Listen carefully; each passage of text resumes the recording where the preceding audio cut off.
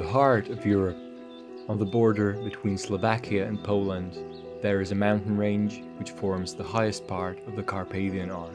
For thousands of years, the majestic nature of this place has been giving feelings of intense beauty to its visitors.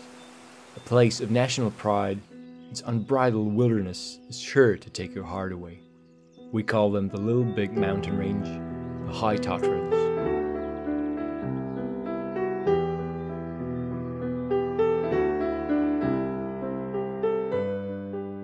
The Tatras cover an area of more than 340 square kilometers, of which more than three quarters lie in Slovakia. The High Tatras National Park is the oldest national park in the country. In 1993, together with the Polish part of the Tatras, UNESCO declared the High Tatras a biospheric reserve with enhanced protection.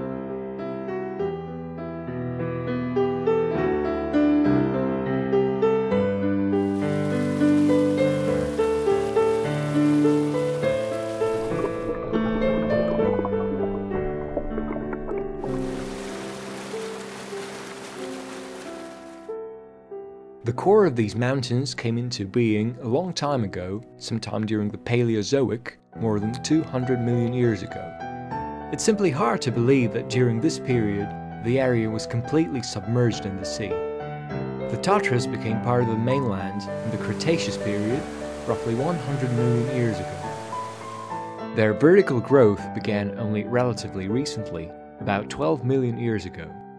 Thanks to this, Today we can find 29 peaks exceeding 2500 meters above sea level, which allows us to categorize the Tatras as high mountains. Of course, the highest peaks come with myriads of lower hills. Together, they form the main ridge of the mountains, which is 26 kilometers long.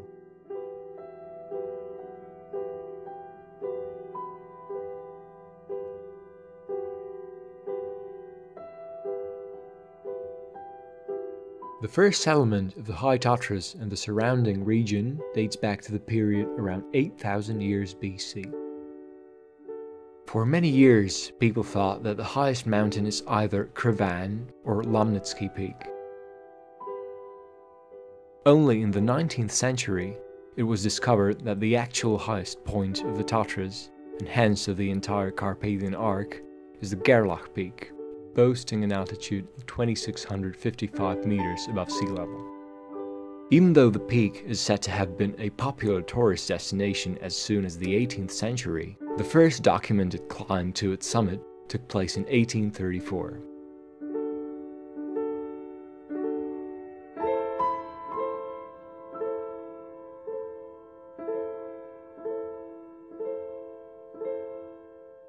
The inherent counterparts of the peaks are the valleys stretching between them. In total, there are 35 valleys, and the longest ones, Koprava and Bielovodska, are almost 12 kilometers long. Valleys in the north of the Tatras were shaped by glacier activity to a greater extent than those in the south. Consequently, their floors have lower elevation than the southern ones, shaped by smaller glaciers. The glaciers retreated roughly 10,000 years ago, but some of them, covered in rubble, have been preserved to this day.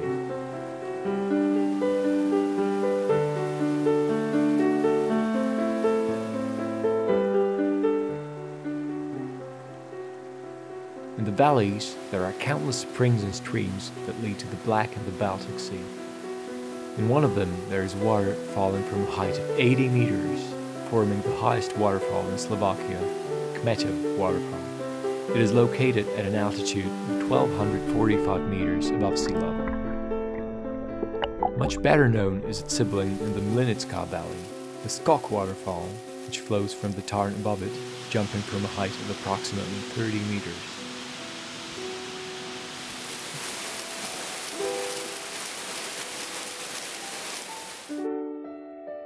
In most valleys, there are also glacial lakes, tarns.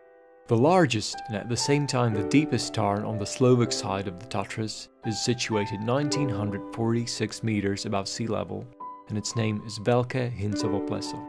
Its depth is almost 54 meters, with an area of more than 50 acres.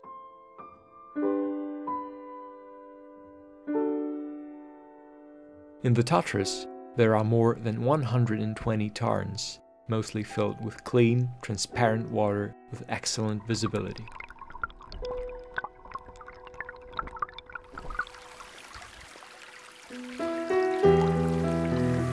The crystal clear water flows from springs above the tarns, but also from the snow cover, which sometimes stays for more than 250 days a year. On average, the surface of Hincovo Pleso is covered with ice for 270 days of the year. Only murmuring water occasionally breaks through the layer of snow, in some places several meters thick. During these days, nature is resting and preparing for the next growing season.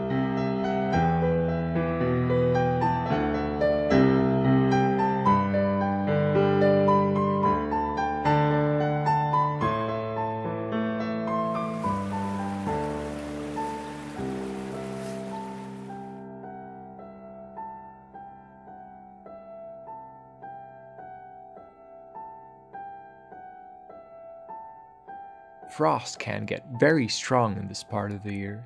And the temperature may drop to an extreme of minus 30 degrees Celsius. Strong wind often joins the extreme cold, making life in the mountains even more difficult. Apparent temperature decreases with increasing wind speed. Every meter per second lowers the apparent temperature by 1 degree Celsius. The highest measured wind speed in the Tatras was almost 79 meters per second, which is 283 kilometers per hour. Such speed is classified as a storm with devastating effects. In many cases, this was no overstatement. Strong winds in the Tatras caused many calamity situations. One of the most devastating instances happened in 2004 when even massive spruce trees were ripped from the ground by the force of the wind. It destroyed a forest area of more than 30,000 acres, which is approximately the area of 20,000 soccer fields.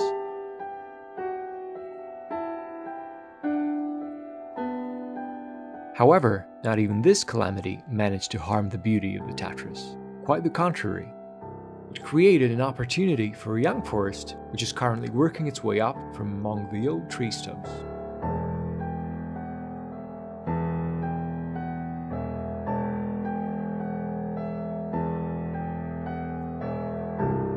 The Tatras are beautiful, but their unbridled beauty can get tricky. Every year, many people who underestimate the fragility of human life learn this lesson. Since 2002, it proved fatal for more than 100 tourists. But this does not discourage thousands of visitors relentlessly traveling to see with their own eyes the vast spruce forests fields of creeping pines at the feet of the mountains, sun drenched mountain lakes and streams where they can, for a moment, feel like a part of this unique, singular ecosystem which deserves the strictest protection. Those are the High Tatras.